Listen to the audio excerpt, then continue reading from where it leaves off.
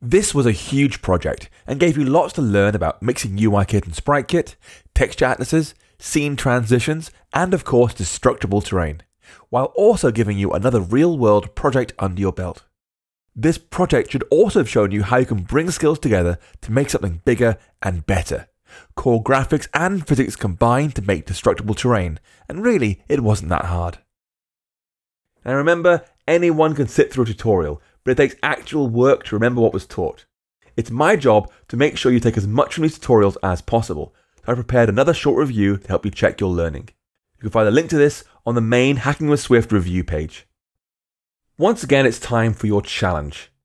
One of the best ways to learn is to write your own code as often as possible. So here are three ways you can put your newfound knowledge to use straight away to make sure you fully understand what's going on. First, add code and UI to track the player score across levels. Then make the game end after one player has won three times. Second, add auto layout rules for the UI components in our storyboard, allowing them to remain positioned neatly regardless of which iPad size is used. And third, use the physics world's gravity to add random winds to each level, making sure to add a label telling players the direction and strength.